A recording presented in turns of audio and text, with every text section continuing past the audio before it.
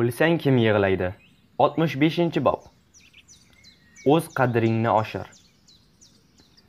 Bugun siz yashayotgan yangi iqtisodiy vaziyatda qanchalar tirishib mehnat qilganingiz uchun emas, atrofdagilarning hayotiga qanchalik qiymat qo'shayotganingizga qarab to'lov olasiz.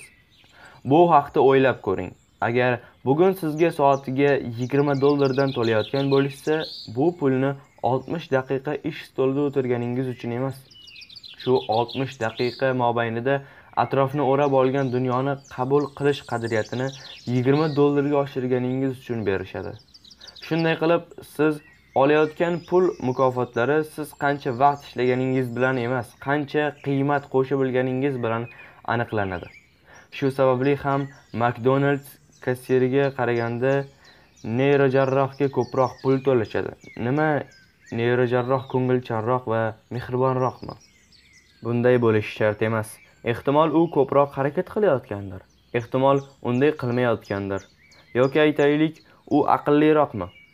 Biz qayerdan bilamiz, biroq bir narsa aniq. Neyrojarroh maxsus bilimlar va muayyan ko'nikmalarni o'zida McDonald's kassiriga nisbatan ko'proq to'plagan. Neyrojarrohga o'xshash malakali mutaxassislar kam. Shu sababli ham u mehnat bozorida qimmatroqqa baholanadi. Mana nima uchun neyrojarrohga gamburger uruvchiga nisbatan 10 baravardan ko'proq pul to'lashadi.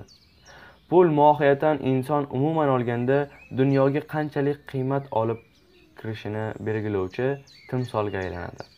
Dunyoga ko'proq qiymat olib kirish uchun insonning o'zi qimmatliroq bo'lishi kerak. Shunday ishni o'rganingki, boshqalar bu ishni bajara olmasin.